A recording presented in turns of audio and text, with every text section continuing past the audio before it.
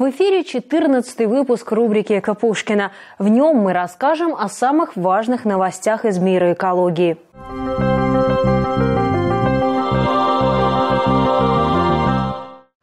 Принес новый температурный рекорд России, став самым жарким за всю историю наблюдений, то есть за 132 года. В целом, это лето в нашей стране оказалось на третьем месте по высоким температурам, уступив только аналогичному периоду в 2016 и в 2021 годах. Пока ситуация развивается по тревожному сценарию, в рамках которого прогнозируется, что 2023 год станет в итоге самым теплым более чем за 100 лет.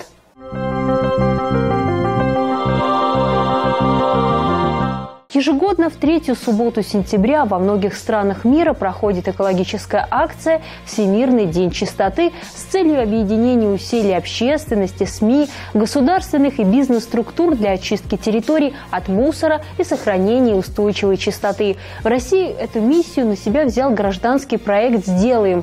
Глобальная уборка – первый шаг, который привлечет внимание к проблеме мусора и станет началом пути по его системному решению. Проект поддерживает раздельный сбор и переработку собранных отходов там, где это возможно. Вы тоже можете в субботу выйти на уборку любимого участка природы, где часто отдыхаете и убрать мусор. А 16 сентября в Правдинском за первой школой будет проходить субботник. Начало в 11.00, сбор в 10.45, центральный ход первой Правдинской школы. С собой иметь инструменты для уборки и что-то для чаепития. 23 сентября в нашем округе состоится экологическая акция «Наш «Наш лес, посади свое дерево». Адреса, где пройдет акция. Пушкина, улица Луговая в районе дома 47. Территория в районе памятника Пушки. Въезд в город в микрорайоне Дзержинец. В Ивантеевке деревья посадят в сквере на улице Рощинской. В Красноармейске на Центральной площади. Начало в 11.00. Присоединяйтесь к озеленению округа.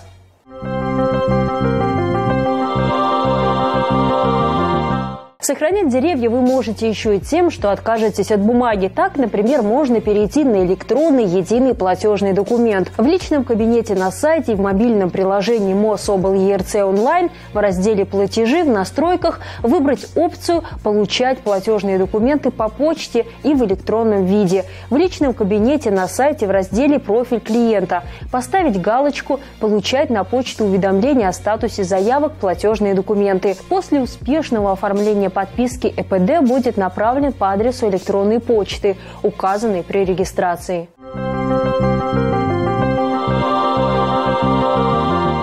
Контейнер для приема просроченных лекарств от населения установили в ТРЦ «Акварель».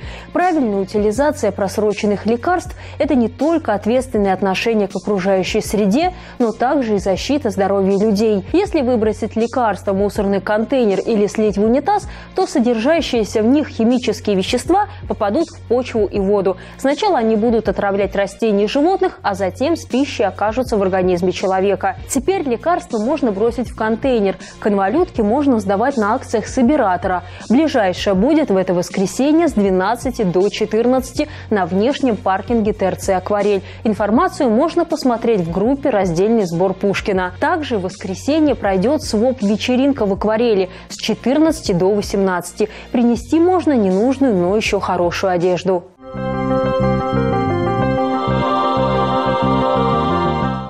К новостям раздельного сбора. Этим летом на подмосковных комплексах РТ «Инвест» отсортировано 700 тысяч тонн отходов.